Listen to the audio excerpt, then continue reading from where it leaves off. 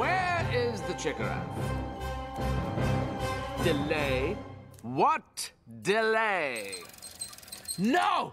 I told you the animal must be here in Meepville by Snursday.